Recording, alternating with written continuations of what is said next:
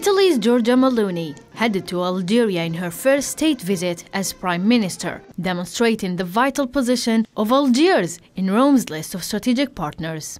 Algeria and Italy aim to consolidate the relations and sign joint agreements in several sectors.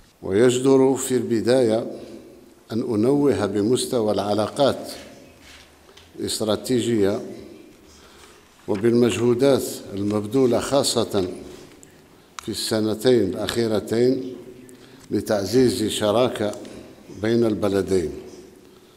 Meloni concluded her visit in Algeria with new strategic agreements to support energy security, initiating concrete steps to complete a new pipeline to transfer energy from Algeria to Italy, respecting the reduction of greenhouse gas emissions.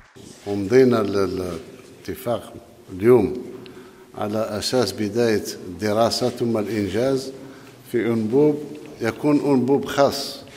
ما هوش أنبوب مثل الأنبوب الموجود حاليا لأنه أنبوب سيضم أولا الغاز ثانيا هيدروجين الأمونياك وحتى الكهرباء. We aim to increase energy supplies from Algeria to Italy and thus to the rest of Europe by studying the possibility of transporting gas and establishing a new gas pipeline that also allows the transportation of hydrogen and then achieving the desired energy transition.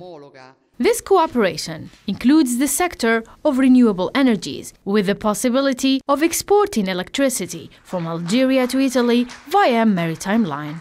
جددت للسيدة ميلوني حرص الجزائر على تعزيز مكانتها كشريك استراتيجي لإيطاليا في المجال الطاقوي والتزامها بدورها كممول موثوق على الصعيدين الإقليمي والدولي وكذا الأمر بالنسبة للاستثمار الصناعي بإيطاليا بإيطاليا في الجزائر l'Algeria sia per l'Italia Algeria has priority because it is the most stable strategic partner and our partnerships extend over the long term. There are several projects that support the endeavor, such as the marine line that carries electricity and also transporting liquefied gas. This is the strategy we are looking for to confront the energy crisis that is hitting Europe. The Algerian Italian energy partnership is increasing, paving the way for win win and mutual benefits for both parties. The agenda includes creating a regional platform for the re export of Algerian energy through Italy to the rest of Europe.